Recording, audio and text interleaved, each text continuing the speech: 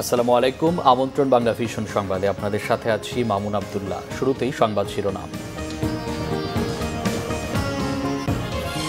প্রেমিকার সামনে শাসনের জেরেই শিক্ষককে হত্যার পরিকল্পনা করে বখাটে জিতু, বিচারের দাবিতে বিক্ষোভ।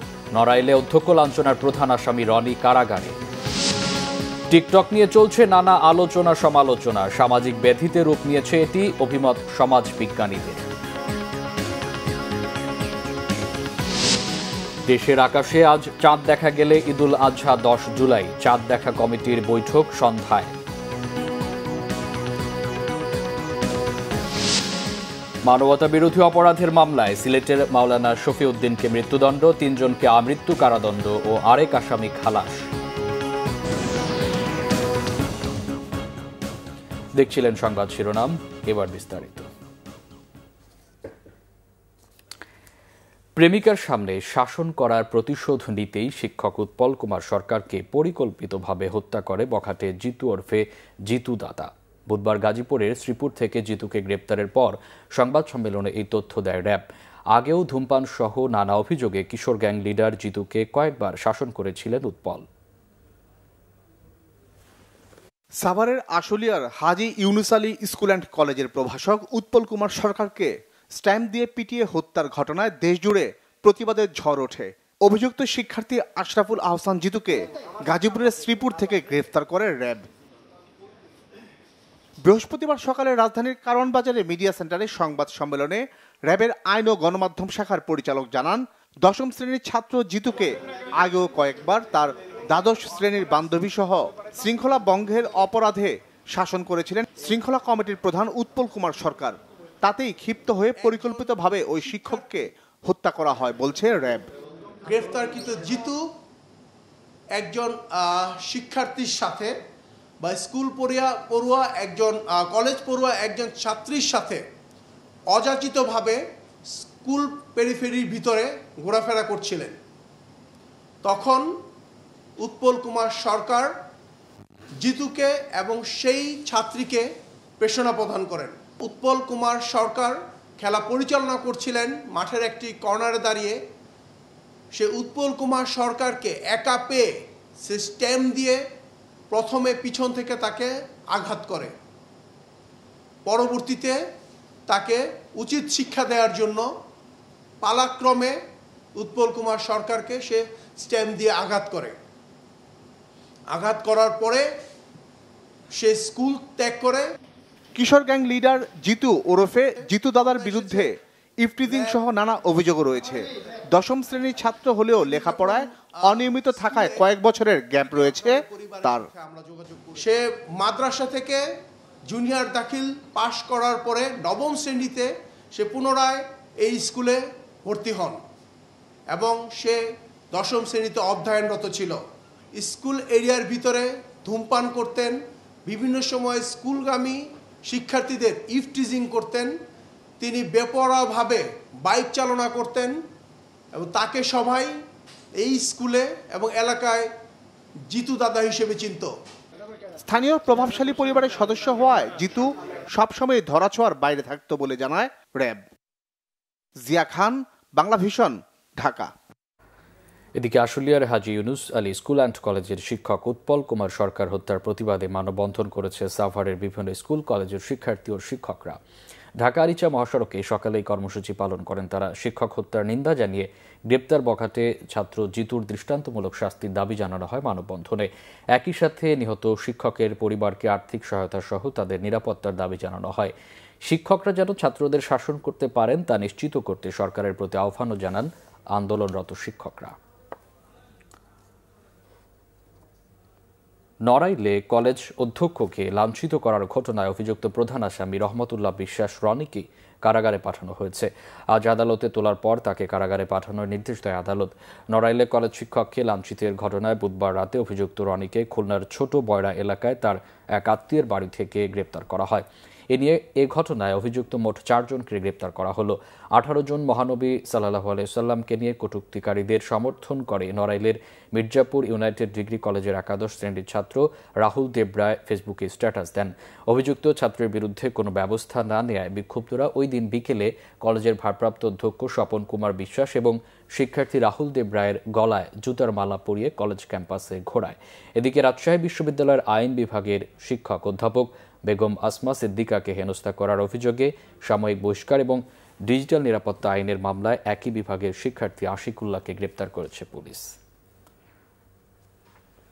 বর্তমান সময়ে সামাজিক যোগাযোগ মাধ্যমের এক বিরক্তিকর অভিজ্ঞতার নাম টিকটক। সোশ্যাল মিডিয়ায় ব্যবহার করে যখন একদল কিছু মানুষ সিলেটের বন্যা কবলিত বানভাসীদের জন্য মানবিক কাজে ব্যস্ত, ঠিক তখনই দেশের ইতিহাসের সবচেয়ে গুরুত্বপূর্ণ প্রকল্প পদ্মা সেতু নিয়ে টিকটক জন্ম দিয়েছে নানা সমালোচনার। সমাজবিজ্ঞানীরা বলছেন, বর্তমান সময়ে টিকটক যেন সামাজিক ব্যাধিতে রূপ নিয়েছে। আর মূলধারার কন্টেন্ট ক্রিয়েটররা বলছেন, পরিবার থেকে বিচ্ছিন্ন, মানসিকভাবে অসুস্থরাই কেবল অসামাজিক, অশ্লীল আর অপ্রয়োজনীয় টিকটক নিয়ে ব্যস্ত। মহিবুল্লাহ মহিবের রিপোর্টে বিস্তারিত। ভাইয়া খাইবা গাজা হইবা রাজা। বর্তমান সময়ের সোশ্যাল মিডিয়ার সবচেয়ে সমালোচিত কন্টেন্টের নাম টিকটক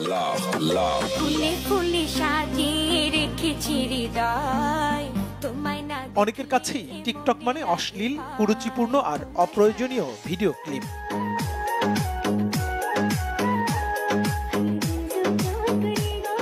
যোগাযোগ মাধ্যমে প্রবেশ করলে দেখা যায় বেশিরভাগ টিকটকই অশ্লীলতা আর বেহায়াপনায় ভরা। বুঝি না তোমাকে এত ভালোবাসি কেন? তাবিজ টাবিজ করছ নাকি? পদ্মা সেতু উদ্বোধনের পর নাট বল্টু নিয়ে টিকটক সেতুর ব্যস্ততম এবং ঝুঁকিপূর্ণ স্থানে মধ্যবয়সী এক নারীর নৃত্য নতুন করে আলোচনায় নিয়ে এসেছে সামাজিক যোগাযোগ মাধ্যমের এই বিনোদনমূলক অ্যাপটি।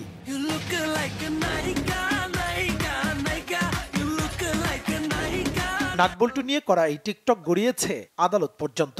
ভাইরাল হবার নেশায় অপ্রয়োজনীয় এই টিকটক করে টিকটককারী রয়েছেন শ্রীঘরে।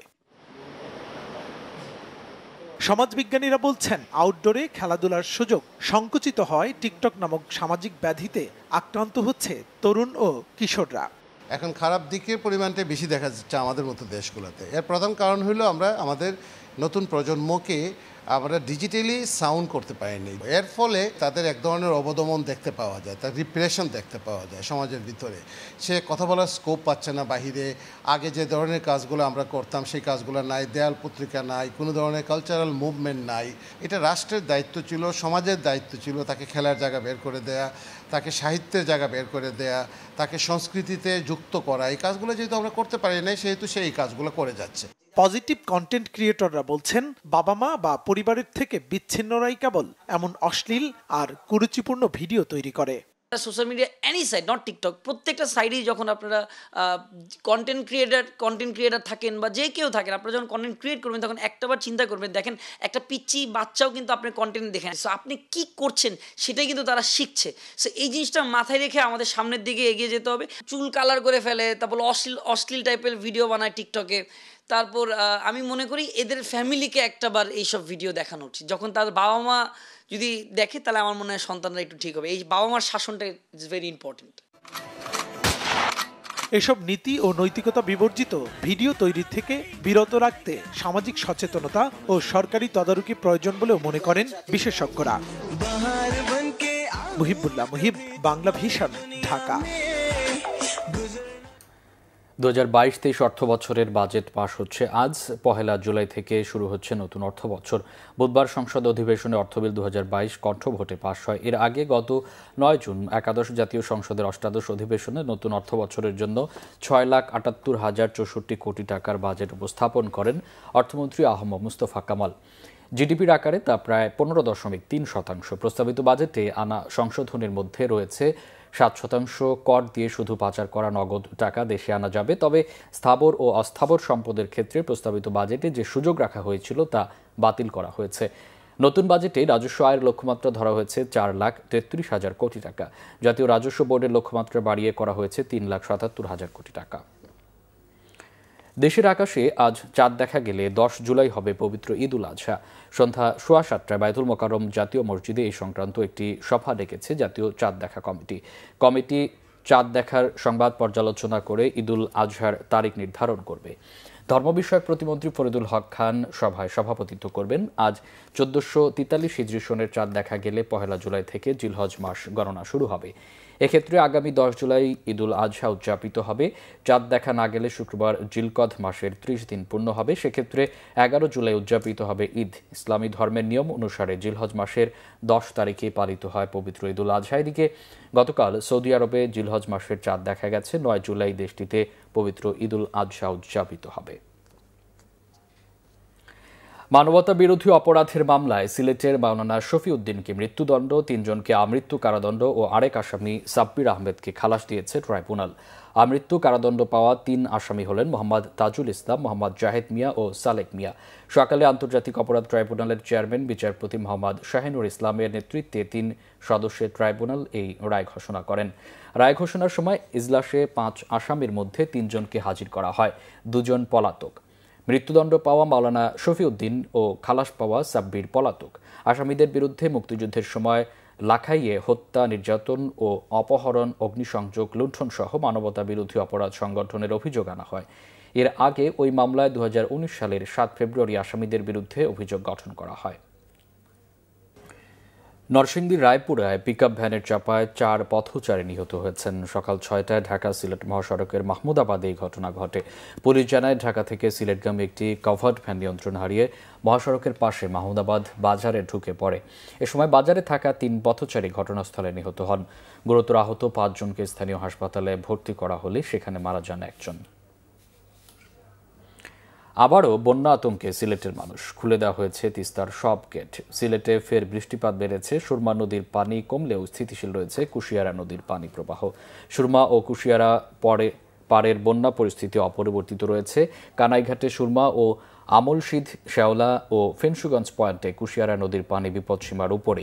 এদিকে বন্যায় পানি না নামায় সুরমা তীরবর্তী বন্যা কবলিতরা এখনই বাড়ি ফিরতে পারছেন না। পর্যাপ্ত খাবার ও বিশুদ্ধ পানির সংকটে দুর্গতরা আশ্রয়কেন্দ্র থেকে ঘরে ফিরেছেন কুশিয়ারা তীরবর্তী বন্যার্থরা। অন্যদিকে উজানের বৃষ্টি ও পাহাড়ের ঢলে আবারও কুড়িগ্রামে নতুন করে বন্যা দেখা দিয়েছে। বিপদসীমার উপরে ধরলা ও দুধকুমারের পানি, তিস্তা ও ব্রহ্মপুত্রের পানিও বেড়েছে। পানিবন্দী হয়ে পড়েছে অন্তত পঞ্চাশ হাজার মানুষ। গ্রামীণ সড়কগুলোর উপর পানি প্রবাহিত হওয়ায় যাতায়াতে ভোগান্তিতে পড়েছে মানুষ। এবার ঈদ কেনাকাটার সংবাদ।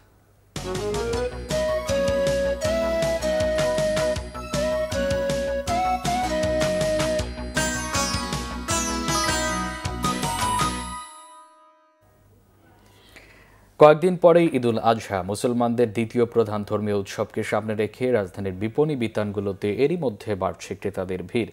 এদিকে কেনাকাটার পেমেন্ট বিকাশ করলে বিশ শতাংশ পর্যন্ত তাৎক্ষণিক মূল্য ফেরত দিচ্ছে মোবাইল ব্যাংকিং প্রতিষ্ঠান বিকাশ।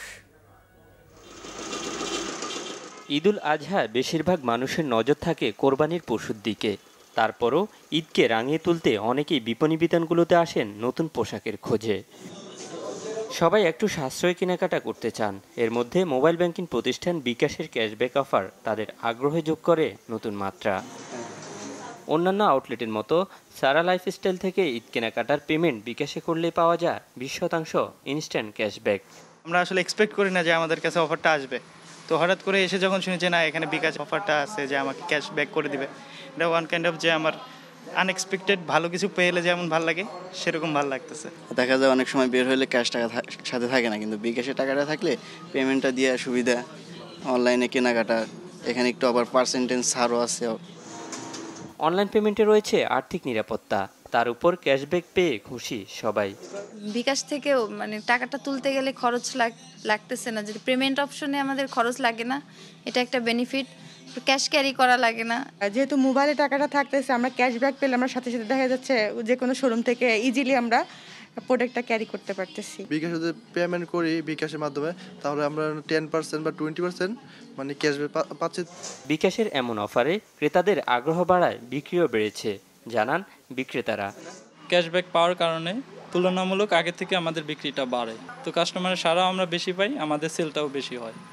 আর কাস্টমারও মানে বিকাশে পেমেন্ট করে স্যাটিসফাই সারা দেশে কয়েক হাজার আউটলেটে ঈদ কেনাকাটার পেমেন্টের উপর ক্যাশব্যাক সুবিধা দিচ্ছে বিকাশ যা চলবে ঈদের আগের দিন পর্যন্ত।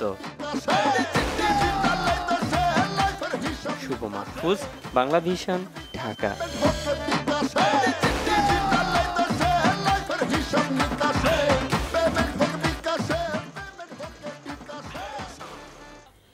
সংবাদ শেষ করব, শিরোনামগুলো আরেকবার জানিয়ে প্রেমিকার সামনে শাসনের জেরেই শিক্ষককে হত্যার পরিকল্পনা করে বখাটে জিতু। বিচারের দাবিতে বিক্ষোভ, নড়াইলে অধ্যক্ষ লাঞ্ছনার প্রধান আসামি রনি কারাগারে। টিকটক নিয়ে চলছে নানা আলোচনা সমালোচনা সামাজিক ব্যাধিতে রূপ নিয়েছে এটি, অভিমত সমাজ বিজ্ঞানীদের। দেশের আকাশে আজ চাঁদ দেখা গেলে ঈদুল আজহা দশ জুলাই, চাঁদ দেখা কমিটির বৈঠক সন্ধ্যায়। মানবতা বিরোধী অপরাধের মামলায় সিলেটের মাওলানা শফি উদ্দিনকে মৃত্যুদণ্ড, তিনজনকে আমৃত্যু কারাদণ্ড ও আরেক আসামি খালাস।